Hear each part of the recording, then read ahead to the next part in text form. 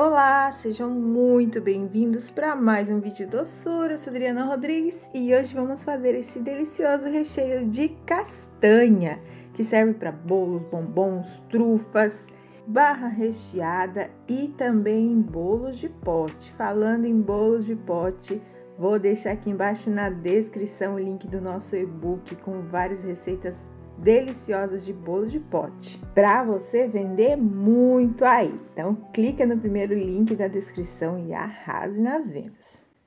Os ingredientes que nós vamos precisar são duas caixinhas de leite condensado de 395 gramas cada, duas de creme de leite de 200 gramas cada e 100 gramas de castanha xerém de caju. Usa a castanha de sua preferência, tá, gente? Vou fazer aqui no meu misturador Eletropag. Se você ainda não tem o seu, já aproveita e corre adquirir. Tem desconto para Chocolindos, tem desconto e brinde, tá?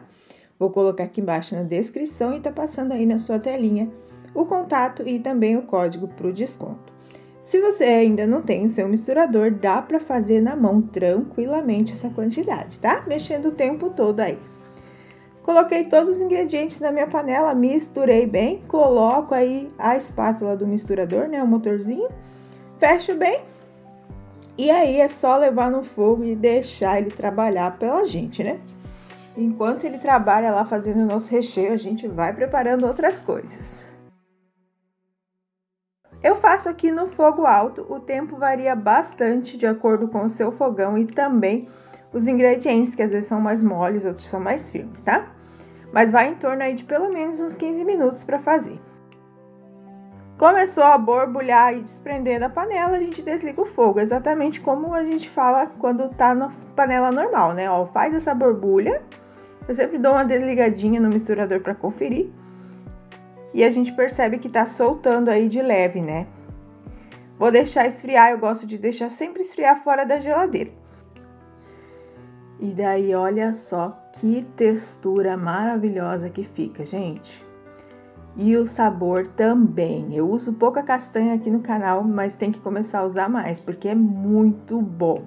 Dá para fazer assim só brigadeiro, dá para juntar chocolate branco, dá para juntar chocolate ao leite. Fica muito bom. E como eu falei no começo do vídeo, você pode usar aí em várias receitas, né? Trufas, cones, barras, para rechear panetone também fica muito bom.